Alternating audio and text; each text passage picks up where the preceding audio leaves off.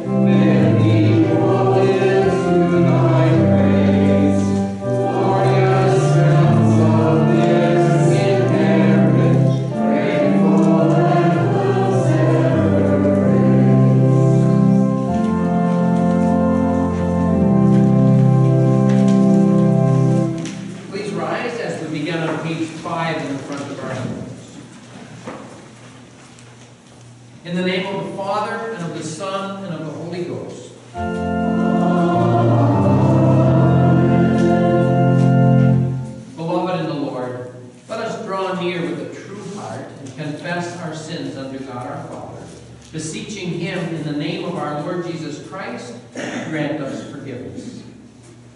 Our help is in the name of the Lord.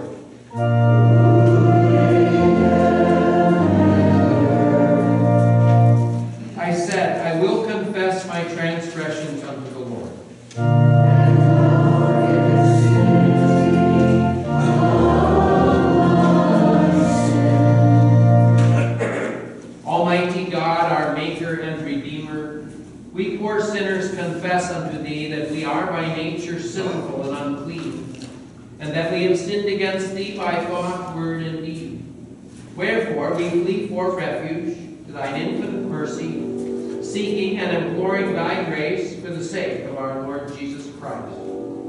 O most merciful God, who has given thy only begotten Son to die for us, have mercy upon us, and for his sake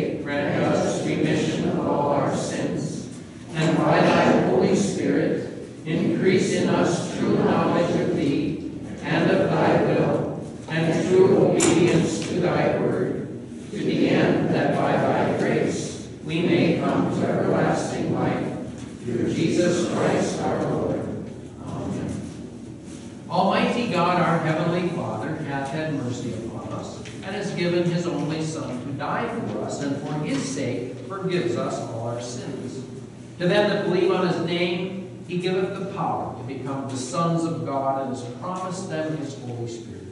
He that believeth and is baptized shall be saved.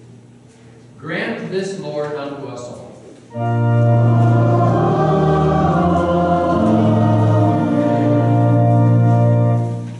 we join in the Psalm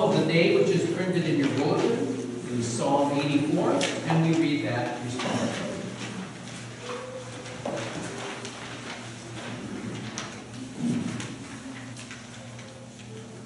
Lovely is your dwelling place, Lord Almighty. My soul yearns, even faints, for the courts of the Lord. My heart and my flesh cry out.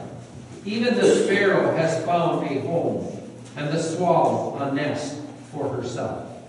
Where she may have her young, a place near your altar, for the Lord Almighty, my King and my God. Blessed are those who dwell in your house, they are ever praising you. Blessed are those whose strength is in you, whose hearts are set on pilgrimage. As they pass through the valley of Baca, they make it a place of springs. The autumn rains also cover it with pools. They go from strength to strength, till each appears before God in Zion. Hear my prayer, Lord God Almighty. Listen to me, God of Jacob. Look on our shield. O God, look with favor on your anointed one. Better is one day in your courts than a thousand elsewhere. I would rather be a doorkeeper in the house of my God than dwell in the tents of the wicked. For the Lord is the sun and shield. The Lord bestows favor and honor. No good thing does he withhold from those who walk his ways. O Lord Almighty, blessed is the in you.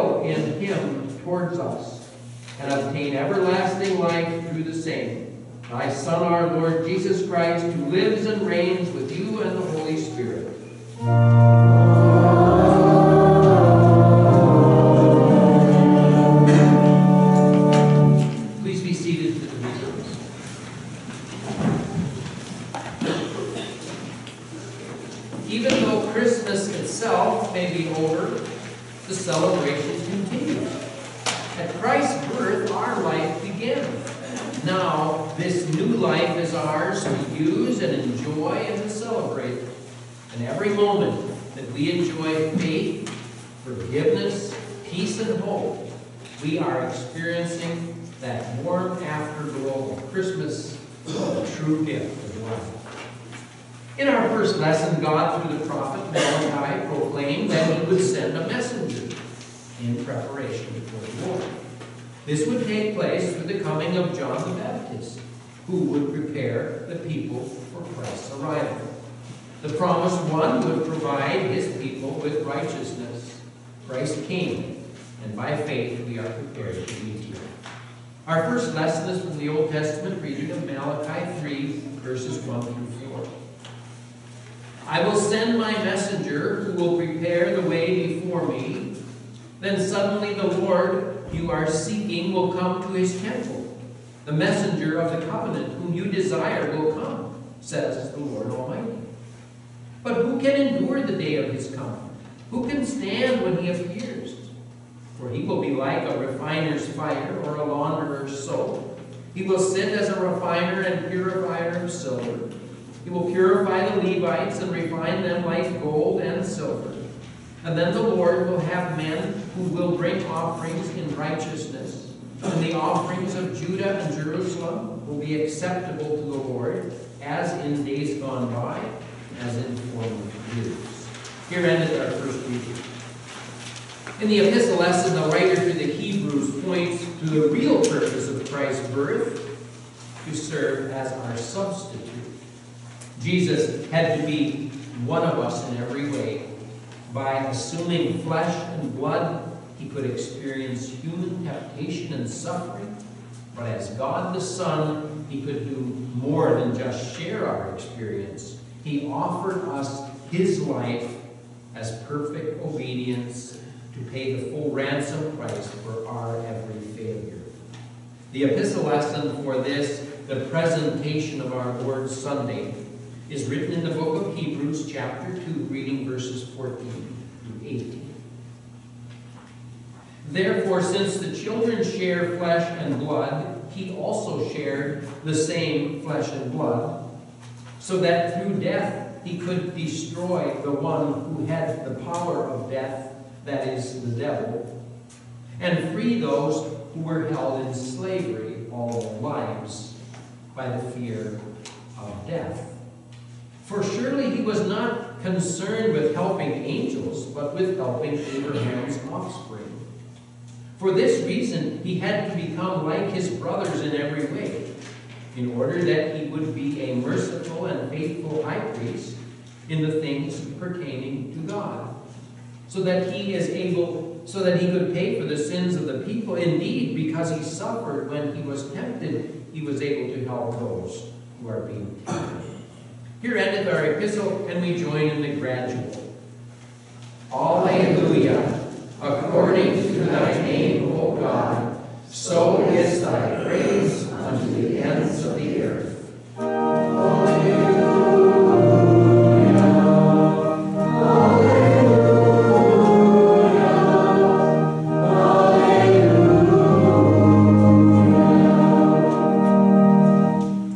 In the gospel lesson, Simeon and Anna responded to God's gift in a most natural gratitude they came, that came straight from the heart. As lifetime students of God's Word, they knew their great need for salvation, But they also knew God's promise to send a Savior. In Jesus, they had everything they wanted and needed. They truly had a reason to celebrate. The Holy Gospel is written in the second chapter of St. Luke, reading verses 22 through 40. Please rise for the reading.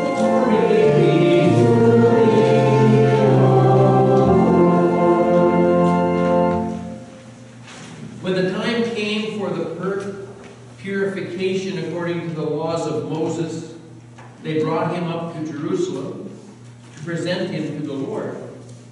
As it is written in the law of the Lord, every firstborn male will be called holy to the Lord. And they came to offer a sacrifice according to what was said in the law of the Lord a pair of turtle doves or two young pigeons. Now there was a man in Jerusalem whose name was Simeon. This man was righteous and devout, waiting for the comfort of Israel. And the Holy Spirit was on him. It had been revealed to him by the Holy Spirit that he would not see death before he had seen the Lord's Christ. And moved by the Spirit, he went into the temple courts. And when the parents brought in the child Jesus to do for him what was customary according to the law, Simeon took him into his arms and praised God. He said, Lord, you now dismiss your servant in peace according to your word, because my eyes have seen your salvation, that you have prepared before the face of all people, a light for the revelation of the Gentiles, and the glory of your people Israel. Joseph and the child's mother were amazed at the things that were spoken about him. Then Simeon blessed them and said to Mary, this, uh, his mother, Listen carefully. This child is appointed for the falling and rising of many in Israel, and for a sign that is spoken against, so that the thoughts of many hearts may be revealed. And a sword will pierce your own soul too. Anna, a prophetess, was there. She was the daughter of Peniel from the tribe of Asher. She was very old. She had lived with her husband for seven years after her marriage. And then she was a widower of 84 years. She did not leave the temple complex since she was worshiping with fasting and prayers night and day. And standing nearby at that very hour, she gave thanks to the Lord. She kept speaking about the child to all who were waiting for the redemption of Jerusalem. And when they had accomplished everything according to the law of the Lord, they returned to Galilee, to their hometown Nazareth. The child grew and became strong and was filled with wisdom, and God's favor was upon him. Here endeth the gospel of our Lord and Savior Jesus Christ.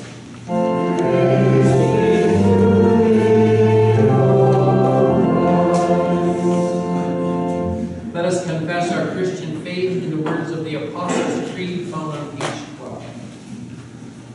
I believe in God the Father Almighty, maker of heaven and earth, and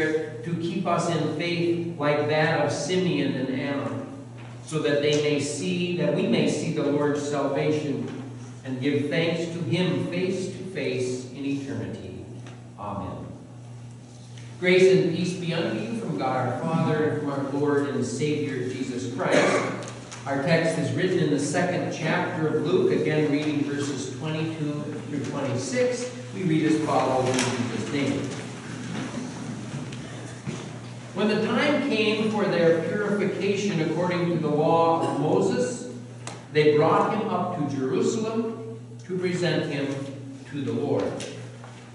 As it is written in the law of the Lord, every firstborn male will be called holy to the Lord.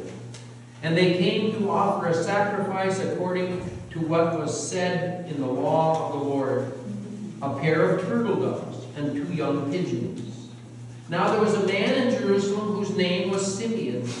This man was righteous and devout, waiting for the comfort of Israel. And the Holy Spirit was upon him. And it had been revealed to him by the Holy Spirit that he would not see death before he had seen the Lord's Christ. O Lord, sanctify us by your truth. Your word is true. Amen. When upon God's command Moses erected the tabernacle in the wilderness, cloud covered the tent of meetings, and the glory of the Lord filled that place. So Moses could not enter because the Lord was in the tent of meetings. When King Solomon had built and dedicated that first temple in Jerusalem, a cloud filled the temple so that the priests could not enter the Holy of Holies because the Lord filled his house. God's glory. God himself was present in both the tabernacle and the first temple, and he revealed his glorious presence as an outward sign of brilliant and beautiful cloud. Now Solomon's temple was destroyed because of the consequences of Israel's idolatry, and yet remembering the covenant that he had made with his people, the Lord promised that a second temple was to be built and added that the splendor of this house would be greater than the one before. When, his, when this temple was completed, there is nothing that tells us that said the Lord came down and filled it. So why then did the Lord promise that it would be greater? Because the Messiah was to come, to preach, and to accomplish the work for which he was sent. As Malachi declared clearly, Behold, I send my messenger to prepare the way before me, and the Lord whom you seek will suddenly come to his temple, the messenger of the covenant, in whom you delight. Behold, he is coming, says the Lord of hosts. Through this advent, the Messiah the glory of that second temple became much greater because in his visible body he came to the temple and the glory of the Lord was revealed. Now, this took place for the first time when Mary, with her little son, the firstborn of God, presented herself before the Lord to offer the required sacrifices ordained by God and aged Simeon openly declared that her child was to be the Messiah. Today we look at our theme, The Glory of the Lord is Revealed, and we concentrate on these two stories, the story of Christ's presentation in the temple and the story of Simeon. Dear fellow redeemed, this first story takes place in verses 22 through 24 of our text, and here the evangelist refers to the two laws of the Old Testament. The first regarding the purification of women is recorded in Leviticus 12. If a woman bore a male child, she was to be considered unclean for 40 days, and if a female child, for 80 days. Then she was to bring to the priest at the door of the tent of meetings a lamb one year old for a burnt offering, and a young pigeon or turtle dove for a sin offering. And if she could not afford the lamb, she was to bring a pair of turtle doves or two young pigeons, one for the burnt offering and the other for the sin offering. These the priests offered before the Lord and made atonement for her. Now, this law not only served to safeguard a woman's health, but was chiefly a reminder of original sin, the inherited, which is inherited by all children through birth. The male child received circumcision on the eighth day as a sign or seal of his righteousness, which by faith, whereby his transgressions were forgiven, his sins were covered, and where he received into God's covenant of grace. Nevertheless, the mother and child were considered unclean for a time longer, just as it is for each of us, as evil lusts remain in our flesh, and it must be opposed by constant repentance and the indwelling of the Holy Spirit. The burnt and sin offerings for purification then indicate that we too must cling to Christ in true faith. He is our Lamb of God who takes away the sin of the world. But how does this concern Christ and his mother? The law said if a woman conceives, that is, in the usual manner, they are sinful and unclean in God's eyes. But our Lord was conceived by the Holy Spirit. Mary conceived and gave birth without sin. The Holy Spirit eliminated sin's poison from every drop out of which the holy temple of Christ's body was formed. Therefore, he was not subject to original sin and was conceived and born holy, and yet Christ subjected himself to this law. And as Christ received circumcision and holy baptism, not for his own sake, but for ours. So he also submitted to this law for our salvation. He was circumcised and baptized that in him we are redeemed and we receive God's covenant of grace by holy baptism. He subjected himself to this law of purification, not because of any cleanness was found in him, but he was presenting himself before his heavenly Father as the Lamb of God, to whom the sins of the world were laid, and in this way made purification for all of our sins, offering himself on the cross as the Lamb of God for the sins of the entire world. Now, the other law which Christ submitted to in this story applies to firstborn males. When the Lord slew the firstborn in all of Egypt, but spared the firstborn among the Israelites, he ordained as a memorial that the firstborn man and beast were to be given to the Lord. Animals were to be offered in sacrifice or could be redeemed for a sum of money. Firstborn sons were either to be left in the house of God or redeemed for five shekels of silver. And we have a perfect, perfect example of that in Hannah who took her young son Samuel to the temple to live and work in the house of the Lord.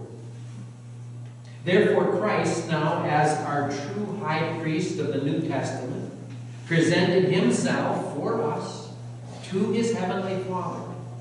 All the firstborn among Israelites in Egypt would have been destroyed by that angel if the blood of that sacrificed Passover lamb had not been applied to the door. Of course, there we have the picture of Christ sacrificing his blood on the cross to cover our sins. And later, all firstborn would have to be consecrated and given to the Lord.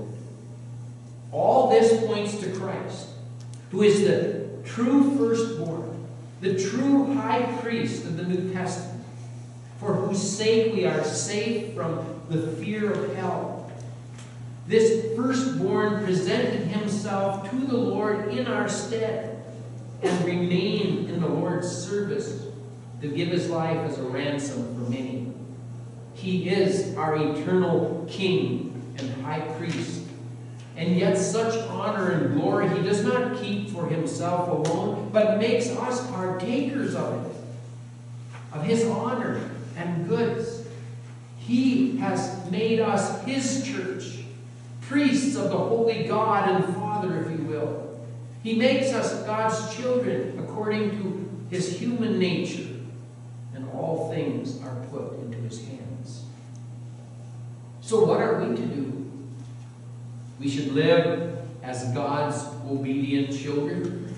We should reign over our flesh and blood. We should abstain from sin and evil lusts that war against us and our soul. And pray that the Holy Spirit, we would surrender fully to His service. That He would let our offerings be pleasing to God and make us partakers of this rich inheritance of. Now, the second part of our Holy Gospel tells us about the story of Simeon. Luke tells us that when the parents brought their son Jesus to the temple to do for him according to the custom of the law, the pious Simeon came also. Now, Simeon is described in the text as a righteous and devout man. And it is said of him that he looked for the consolation of Israel. That is, the coming of the promised Messiah. We are told also that it had been revealed to him by the Holy Spirit he should not see death before he had seen the Lord's Christ. Inspired by the Holy Spirit, he came to the temple, obeying the Lord's command. But all of this would have not been pleasing to God if it had not flowed from his genuine faith in Christ. For such faith is not a work of human power.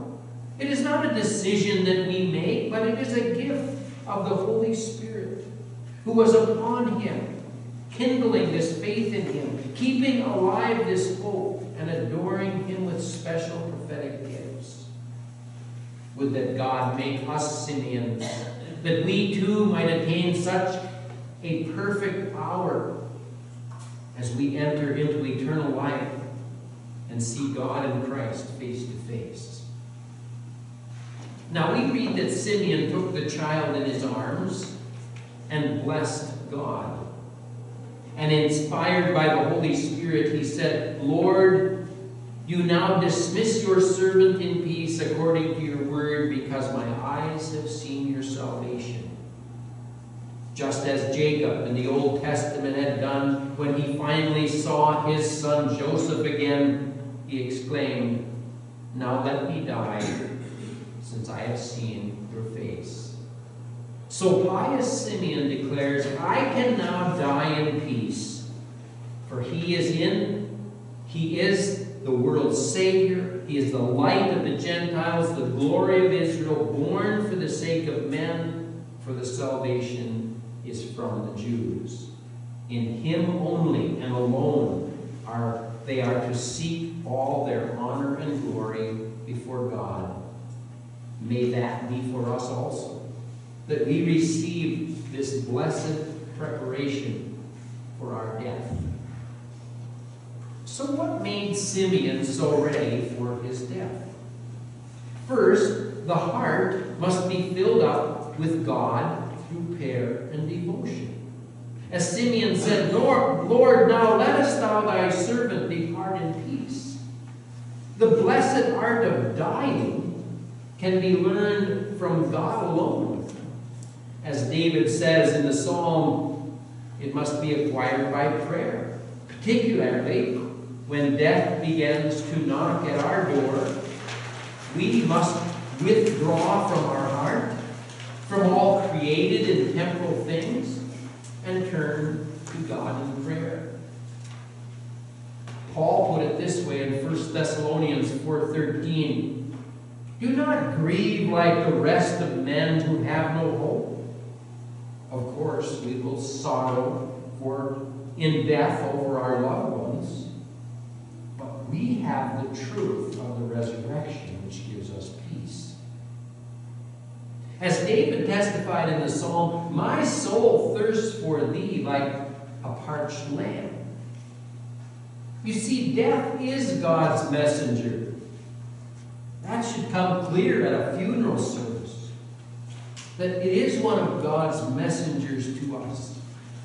Because he exhorts us then to cling to God, to commit our soul into his hands to keep and preserve. Second, death must not be regarded as a long way off but we must expect and provide for it daily. Death slinks after us every hour and every moment. Yes, we carry it with us. Therefore, we should always be ready. No harm is ever done by expecting death daily, and yet we are spared for a time. But there is great harm when death is disregarded for a single day and we are suddenly overtaken by it. Third, the right preparation for death includes that we wait patiently until God Himself summons us. We are placed in a line of battle here on earth by God, the heavenly commander, and we dare not forget but must wait until He calls us. He has given us life, and into His hands we are to trust. If He wills us to have it, we are by no means then to shorten it. Fourth, we are always to engage in God's service. By sin against our conscience, we often render service to the devil Therefore, we are to be on our guard against such sins and serve God in holiness and righteousness. The man who serves God will be able to rule over death, as it says in Revelations 4.13, Blessed are the dead who die in the Lord henceforth. And if we are to die in the Lord, we must also live in the Lord, that is, serve Him in devotion. Fifth, we are to keep quiet and calm hearts. How many of you fear death? The outward appearance of death. It is not to be fright. It is not to frighten us, for it is only going home of the faith who will never see death. In this life, we are captive of the law of sin, but by death we are released from that prison. And this word released here is used when talking about the freeing of slaves, our return to our fatherland or homes, to indicate that even though in this life we are strangers and aliens, through death we come to the heavenly home, a freeing from slavery and from the hard service and duties that we often perform. But through death we come to life again. Do not grieve like the rest of men who have no hope. Finally, it is used of the release of war. In this life, we are obligated to fight continually. Through death, we are translated are trans from the church militant to the church victorious, to the assembly of the elect, with golden crowns on our heads as a sign of victory. Yes, the art of blissful dying, not to grieve, belongs especially to all who have true faith. Those who lay hold on Christ, the Prince of Life and Conqueror of death, for my eyes have seen thy salvation, Simeon said. We do not see Christ with our physical eyes as Simeon and Anna saw him, but we do see him with the eyes of faith of our hearts. Without this inner spiritual seeing, the outward physical seeing would have been of little value. The man who sees Christ in this way dies happy, for Christ is the author of life. His word is the word of life. And whoever holds fast to this word passes from death to life. So, in the midst of death, the child of God finds that true life, yes, true life and salvation. Amen. Please rise for the lesson. And now may the peace of God, which passes all our understanding, keep our hearts and minds through Christ Jesus. Amen.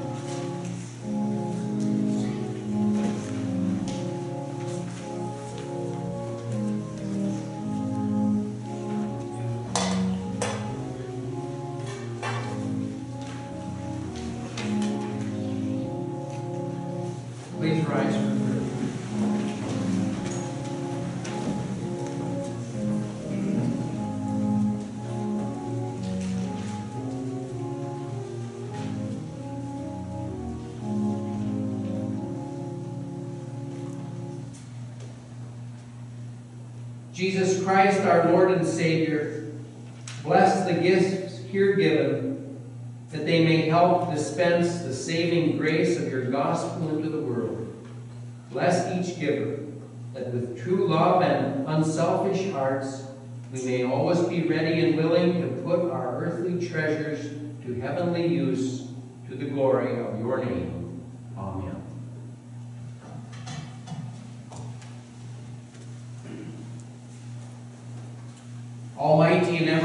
Everlasting God, who art worthy to be held in reverence by all the children of men, we give thee most humble and hearty thanks for the innumerable blessings, both temporal and spiritual, which without any merit or worthiness on our part thou hast bestowed upon us. We praise thee especially that thou hast preserved unto us in thy purity thy saving word and the sacred ordinances of thy house.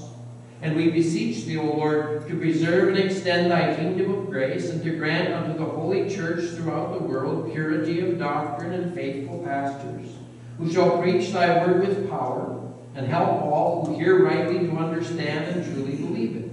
Send forth laborers into the harvest. Open the door of faith unto all the heathen and unto the people of Israel. In mercy, remember the enemies of thy church, and grant unto them repentance unto life. Be thou the protector and defender of thy people in all time of tribulation and danger. And may we, in communion with thy church and in brotherly unity with all our fellow Christians, fight the good fight of faith, and in the end receive the salvation of our souls. Bestow thy grace upon all the nations of the earth, especially do we entrust thee to bless our land and all its inhabitants, and all who are in authority, Cause thy glory to dwell among us, and let mercy and truth, righteousness and peace everywhere prevail. To this end, we commend to thy care all our schools and pray thee to make them nurseries of useful knowledge and Christian virtue, that they may bring forth the wholesome fruits of life. Graciously defend us from all calamities by fire and water, from war and pestilence, from scarcity and famine. Protect and prosper everyone in his appropriate calling, and cause all useful arts to flourish among us. Be thou the God and Father of the widow and the fatherless children, the helper of the sick and the needy, and the comforter of the forsaken and distressed. Accept, we beseech thee, our bodies and souls, our hearts and minds, our talents and powers, together with the offerings we bring before thee, which is our reasonable service. And as we are strangers and pilgrims on earth, help us by true faith and a godly life to prepare for the world to come. Doing the work thou hast given us to do while it is day, before night cometh when no man can work. And when our last hour shall come, support us by thy power. Receive us into thy everlasting kingdom. Through Jesus Christ, our Son, our Lord, who liveth and reigneth with thee in the Holy Ghost, ever one God. This we pray in the prayer you've taught us to pray. Our Father, who art in heaven, hallowed be thy name. Thy kingdom come, thy will be done, on earth as it is in heaven. Give us this day our daily bread, and forgive us our trespasses, as we forgive those who trespass against us. And lead us not into temptation, but deliver us from evil. For thine is the kingdom,